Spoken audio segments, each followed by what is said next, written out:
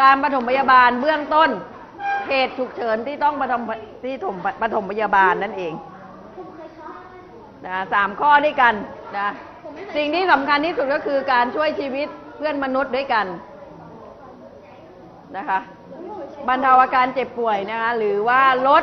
ป้องกันความพิการนะคะสำคัญเป็นอย่างยิ่งเลยนะคะนี่ก็เรียกว่าจุดมุ่งหมายของการปฐมพยาบาลนะคะนี่ก็คือสิ่งที่เด็กๆต้อง เรียนรู้นะ วันนี้เรามาเรียนรู้หัวข้อนี้กันค่ะลูก การปฐมพยาบาลเมื่อได้รับบาดเจ็บจากสารพิษและสารเคมี จดบันทึกเลยค่ะลูก สิ่งที่นักเรียนต้องเรียนรู้ แล้วก็เดี๋ยวจะได้มาฝึกการปฐมพยาบาลวันนี้ จะมีการฝึกการปฐมพยาบาลหนึ่งอย่างนะคะจะเป็นใครโชคดีนั้น เดี๋ยวมาดูกันนะคะ การปฐมพยาบาลนั้นมีหลายวิธีด้วยกันนะคะลูกนะคะมีหลายวิธีด้วยกันนะคะหลายอย่างนะคะเช่นการปฐมพยาบาล คนที่ได้รับบาดเจ็บ คนที่เป็นลมอุบัติเหตุจากการเล่นกีฬานะคะหรือว่าอุบัติเหตุที่นักเรียนนั้นเกิดขึ้นในชีวิตประจำวันนะคะเราก็จะได้มาเรียนรู้กันนะซึ่งซึ่งการปฐมพยาบาลนั้นมีด้วยกัน 2 ชั่วโมง ก็คือชั่วโมงนี้กับชั่วโมงหน้านะคะเพราะว่า จริงๆแล้วมันมีสามชั่วโมง แต่ว่าด้วยที่อาทิตย์ที่อาทิตย์ที่แล้วเราสอบไปนะคะ ก็เลยทำให้เหลือแค่สองชั่วโมงนะคะ การการเรียนก็เลยต้องลดนะะในสิ่งที่เด็กๆ ต้องเรียนรู้นะคะครูจะได้รวบยอดไปเลยในทีเดียวนะคะ การปฐมพยาบาล การบาดเจ็บจากสารพิษและสารเคมีอ่านักเรียนรู้จักสารเคมีบ้างอะไรบ้าง ที่อยู่ในบ้านของเรามีอะไรบ้าง อะไรนะ ยาอ่ายาฆ่าแมลงอะไรบ้างที่อยู่ในในอยู่ในบ้านเราที่เรามองอ่ายากันยุงอะไรอีก น้ำยาล้างจานน้ำยาล้างจานกินได้ไหม น้ำน้ำยาล้างห้องน้ำอะแป๊บกินเข้าไปได้ไหมไม่ได้สิ่งที่เรียนกล่าวมาทั้งหมดสามารถกินเข้าไปได้ไหมคะลูกไม่ได้ไม่ได้นะคะแต่ถ้าได้รับอันตรายแล้วนักเรียนจะมีวิธีการป้องกันอย่างไรนะคะอ่าผ่านได้ยังคะลูก การปฐมพยาบาลเมื่อได้รับอันตรายจากสารพิษและสารเคมี วิธีแรกเลยก็คือนะการปฐมพยาบาลโดยการที่นะคะเมื่อได้รับสารพิษ และสารเคมีโดยการรับประทานข้อที่หนึ่งนะคะโดยการรับประทานมันจะมีด้วยกันก็คือ ถูกเนื้อต้องอนะคะจะถูกตามผิวหนังหรือว่าเข้าตรงเข้าตานะคะแต่อันนี้ก็วิธีที่หนึ่งก็คือ การรับประทานอันนี้ก็คือส่วนใหญ่ใหญ่อ่าส่วนใหญ่เอ๊ะวันนี้ไม่ครูติดเป็นเลยครูติดสองประโยคจัง ส่วนใหญ่ก็จะเป็นในเรื่องของเด็กเล็กนะคะที่รู้เท่าไม่ถึงการนะที่นำสารเคมีเหล่านี้ค่ะอาจจะโดยวิธีการอย่างที่บอกนะคะว่าเราเรียนรู้โดยการรับประทานนะด้วยเหตุการณ์ที่รู้เท่าไม่ถึงการนั่นเองนะคะโดยการรับประทานวิธีการปฐมพยาบาลทำได้อย่างไร อ้าวข้อที่หนึ่งเลย วิธีการปฐมพยาบาลก็คือล้วงคอให้อาเจียน จดบันทึกเลยนะคะ ลูกวิธีการปฐมพยาบาลทำได้อย่างไรก็คือ ล้วงคอให้อาเจียน เพื่อกระจัดพิษออกจากร่างกายนั่นเองอ้าวหลายคนยังไม่จดบันทึกนะ ใครไม่ส่งสมุด เจอกันท้ายชั่วโมง แล้วก็จดไม่เรียบร้อยด้วยหักคะแนนให้เรียบ อะไรครับ โอ้นะคะถ้าจดบันทึกก็ไม่เป็นปัญหาหรอกค่ะ แต่สำหรับคนที่ไม่ตั้งใจเรียนนะลิคุยระหว่างที่เพื่อนจดบันทึกอยู่ก็จะไม่รู้สิ่งที่คุณครูสั่งนะคะต้นทางและปลายทางนะคะแต่โดยเฉพาะ4ทับ2เนี่ยเป็นอะไรที่พูดมากคุยเก่งที่สุด แล้วก็จนข้างจะดื้อนะอ้าวข้างหน้าเขายังยอมรับเลยว่าเขาคุยเก่ง ก็พูดมากเขาดำด้วย พูดเล่น รู้สึกว่าเธอจะอ้วนขึ้นนะ เออหน้านี่กลมเป็นซาลาเปาเลยนะครับ ไม่เจอกันสองอาทิตย์นี่เธออ้วนขึ้นมากเลยฉันอ้วนอย่างนี้อยู่เลยเอาฉันอ้วนอย่างนี้อยู่แล้วแต่ครูละผอมลงเออครูว่าอะไรนะ ตั้งแต่ตั้งแต่ก่อนปีใหม่เลยครูไม่สบายนะคะ เป็นไข้นะคะเป็นไข้ ไปไปหาหมอไปนอนโรงพยาบาลมา กินทุกวันเลยอ้วนแต่นี่ครูไม่กินทุกวันไง ช่วงช่วงที่ไม่สบายนี่กินไม่ได้เลยนะคะข้าวกินได้วัน แต่ต้องกินเพราะว่าต้องทานยานะคะไข้ขึ้นสูง 39 องศา แล้วปกติอุณหภูมิของคนกี่องศาประมาณ 36 ขึ้นแบบแล้วก็ไข้ไข้ตัวร้อน เป็นต่อมตอมทินอักเสบ ต่อมตอมทินอักเสบ ต้องให้น้ำเกลือตั้งขวดหนึ่งอ้าวได้ยังเอ่ย วิธีการปฐมพยาบาล แม่คะแม่เปิดจะ อ่าครูจะไปข้อสองแล้วนะนะอย่างที่บอกนะคะการปฐมพยาบาล เมื่อได้รับสารพิษกับสารเคมี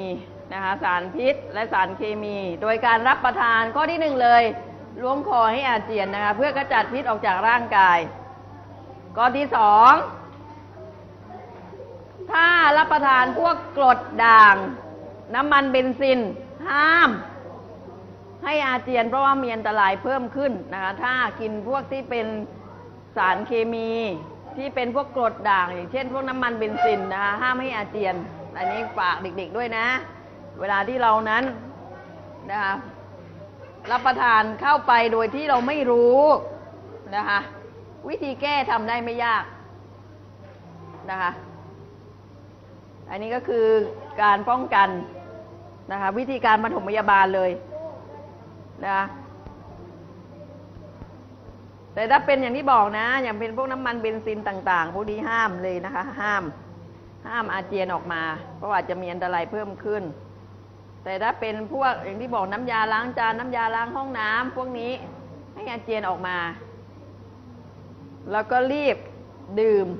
นมตามเข้าไปเยอะๆนมก็ได้น้ำสะอาดก็ได้นะคะลูก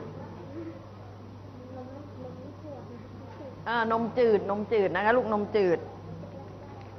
อะไรนะ ก็ได้แต่ได้ผลน้อยค่ะ ถ้าเป็นนมจืดจะดีกว่า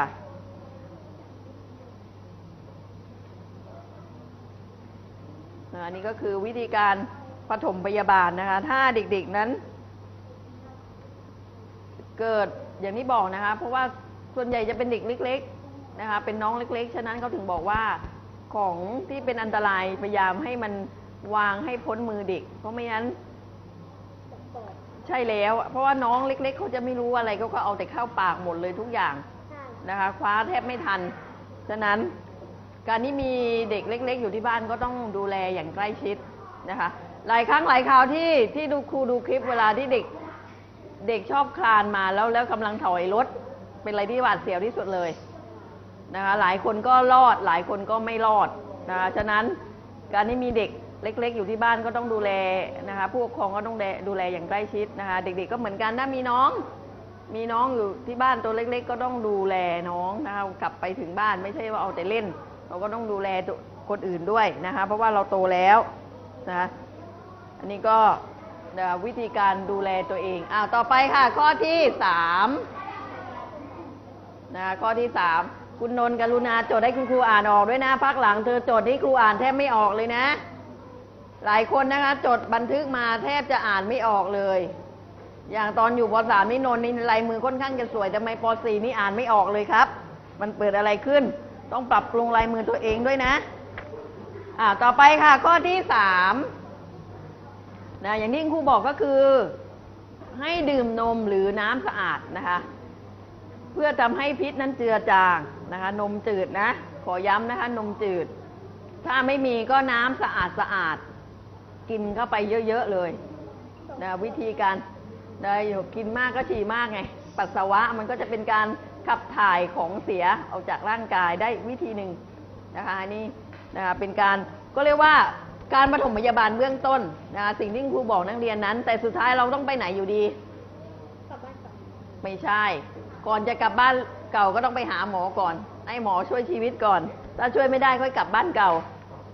นะนี่ก็คือเป็น กลับบ้านเก่าก็คือไปไหนตามหน้าเออ ก็คือเสียชีวิตนั่นเองลูกนะคะนะถ้าคุณหมอช่วยชีวิตไม่ทันก็จะทำให้เสียชีวิตได้นะคะแต่อย่างที่บอกนะคะการนิ่งครูให้นักเรียนนั้นเรียนรู้ก็คือวิธีการปฐมพยาบาลเบื้องต้น ซึ่งเราสามารถที่จะช่วยเหลือตัวเองได้ ช่วยเหลือคนอื่นได้นะคะอันนี้ก็เรียกว่า การรับประทานเมื่อยาผิดนะะการรับประทาน การปฐมพยาบาลเมื่อได้รับอันตรายจากสารพิษ และสารเคมี โดยการรับประทานเข้าไปนั่นเองนะคะ